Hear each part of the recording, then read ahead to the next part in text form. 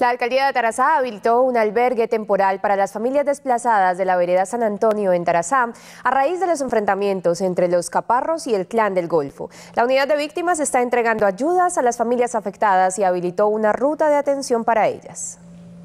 El censo de las familias hoy asciende a 140 personas.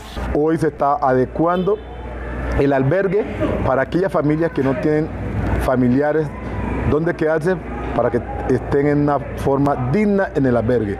Algunos de ellos permanecen donde familiares y en el albergue temporal. Eh, estamos eh, hoy acompañando al municipio en la entrega de kit de albergue, kit de cocina, tordillo, todo lo que requiere la, familia.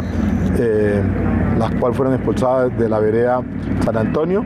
Solo en 2018 y 2019, más de 5.000 familias han sido desplazadas en Antioquia. ¿Eyaculación precoz? Pida su cita 320 88 99 777 bostonmedical.com.co